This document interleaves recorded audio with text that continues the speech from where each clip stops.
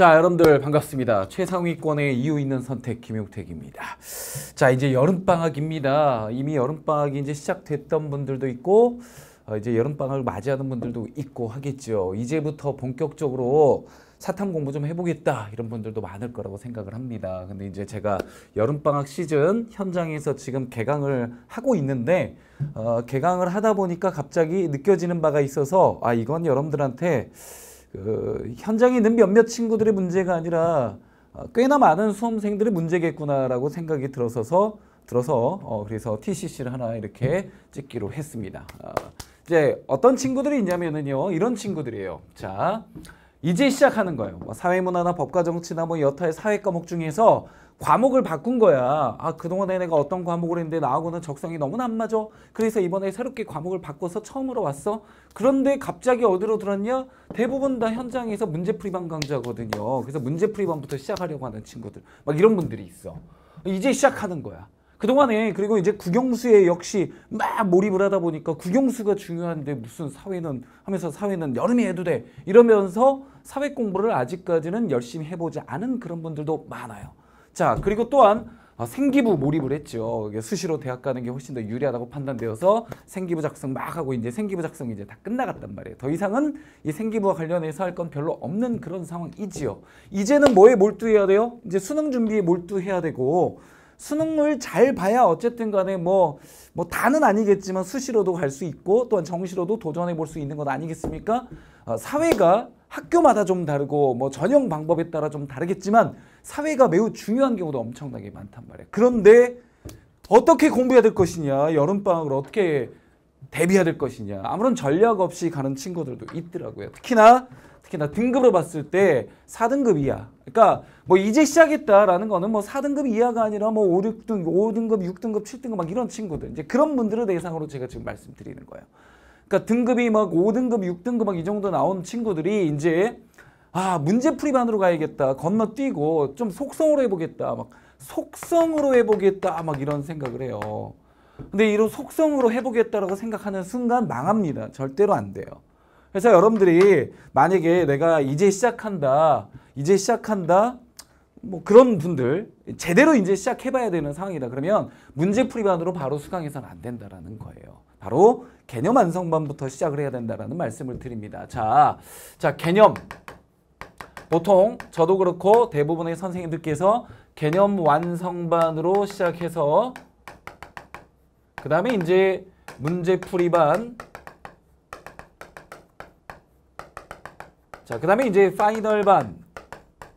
이렇게 기본적으로 커리가 세개고 여기다가 이제 문제 풀이반에서 이제 뭐 기본 기출이냐 아니면 연계 유형이냐 해가지고 뭐 조금씩은 세분화 되기도 합니다만 기본적으로 이렇게 돼요. 근데 이 중에서 제일 중요한 제일 중요한 강좌 코스가 뭘까요?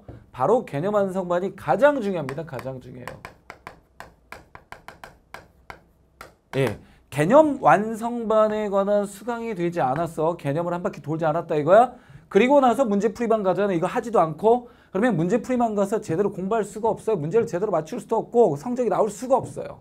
근데 많은 분들이 문제를 풀어서 어떻게든 해보겠다 이런 생각을 하는데 굉장히 비효율적이고 절대 성적이 나올 수가 없습니다. 그래서 어, 문제풀이반과 파이널반 안 하고 개념 완성반만 해도 최소 2등급은 나올 수 있어. 아무리 못해도 3등급은 나와. 근데 개념 완성반 없이 그냥 문제 풀이반으로 가서 그냥 해보자 그러면 절대로 등급이 올라갈 수가 없습니다.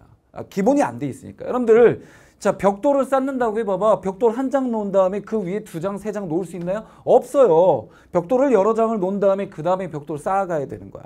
오케이? 단계가 있는 거야, 단계가. 그래서 간단해요. 내가 이번 시간에 여러분들한테 강조하는 거, 아, 성적이 중하위권에 머물러 있는 그런 학생들에게 강조하고 싶은 것은 나는 당연히 개념 완성반은 돌렸는 줄 알았어. 그런데 개념 완성반조차도 돌리지 않고 개념반도 제대로 수강하지 않고 나서 문제풀이반 오는 그런 분들이 많더라고요. 그래서 제발 좀 개념 완성 반에 초점을 좀더 쓰면 좋겠다라는 생각이 듭니다. 오케이? 그래서 그럼 구체적으로 어떻게 들어가느냐? 자, 지금이 자 7월 20일 좀 넘어가는 시점입니다. 자, 그러면은 자 7월에서 7월에서 8월 사이 핫한 여름 있죠? 이때 여러분들 이제 이제 진짜 제대로 시작하려면 이때 개념 완성반을 돌려야 돼요. 좀 빡세긴 하겠지만 자, 9월 모의 평가 전까지는 개념 완성반을 완강한다고 생각. 이런 목표를 이런 목표를 세운다 이거야. 9월 모평 전까지는 그래 전범이 개념을 한번 제대로 보겠다. 그리고 뭐 저나 다른 선생님들 전부 다 다 그 개념 완성반에 딸린 어떤 부속 문제 풀이반이나 문제집이나 이런 것들 제공이 될 겁니다. 많은 문제가 제공이 될 거야. 그것까지만 하자 이거야. 목표를 그 정도로 잡어. 예. 그래가지고 개념 완성반 했어. 그리고 나서 9월 평가원 예, 치르는 거예요. 그러면 9월 평가원에서 여러분들 기존에 받았던 성적보다는 훨씬 더 굉장히 좋은 성적을 거둘 것이 자명합니다. 자, 그리고 나서 이제 구평을 치렀어. 그러면 이제 9월에서 예, 10월 사이 수능 보기 전까지 그러면 이때 뭐 하는 거야? 이때 이제 바로 문풀반 뭐 가, 강의를 든든하면 문풀반이나 이어서 이제 파이널반 선생님들 대부분이 문풀반이나 파이널반은요 강좌 수가 그렇게 길지는 않습니다. 엄청나게 길지는 않단 말이야. 그렇기 때문에 여러분들이 충분히 할 수 있어요. 그리고 뭐 강의를 다 들을 필요까지는 없단 말이야. 제공받은 거 가지고 개념이 되어 있으면 스스로 문제 풀 수도 있고 하거든. 오케이? 어 그리고 나서 선생님들이 저나 다른 선생님들이 제공하는 문풀과 파이널반 하고 시간이 만약에 된다면 당연히 당연히 연계 교재 있죠. 연계 교재. 또 같이 풀어 봐. 그러니까 연계 교재를 연계 교재가 중요하긴 합니다만 연계 교재를 반드시 제일 먼저 할 필요까지는 없어요. 어차피 여러분들 연계가 된다고 쳐봐봐. 뭐 직접이든 간접이든 70% 연계가 된다는데 그러면 언제 보는 게 가장 효율적일까요? 3월달이봐 4월달이봐 아니야. 수능 직전에 보는 게 가장 효율적이지. 어 비슷한 게또 나왔구나. 그럼 기억이 날 거 아니야. 직전에 받았으면. 근데 뭐 3월, 4월, 5월달에 봤어. 그러면은 어 연계 교재 이게 나왔었나? 전혀 기억조차도 나지 않을 수 있단 말이야. 인간은 망각의 동물이니까. 그래서 어 그래서 여러분들한테 간략하게 학습 전략을 말씀드리자면 그러면은 자 일단은 개념 완성반을 하지 않은 분들 제발 좀 개념 완성반 강좌를 들었으면 좋겠다라는 겁니다. 개념이 돼 있어야 돼. 오케이? 개념 완성반에 개념만 있는 건 아니고 개념과 기출과 유형이나 이런 거 대부분 선생님들 다 농축이 돼 있어. 가장 효율적인 강좌예요.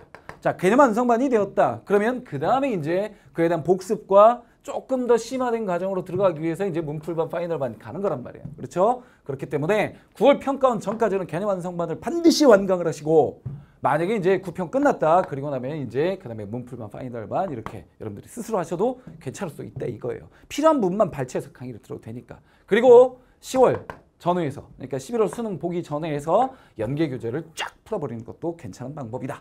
라는 걸 여러분들한테 꼭 말씀드리고 싶습니다. 이제 현장 강의하다 보면은 이제 많은 친구들은 아니지만 현장에 수강 온 친구들 중에 예, 한 10에서 20% 정도는 개념이 제대로 아예 안 돼 있어. 근데 문제 풀이만 와 있어. 그러면 당연히 힘들 수밖에 없잖아. 그러니까 그런 분들을 위해서 이렇게 TCC를 제공한 건데요.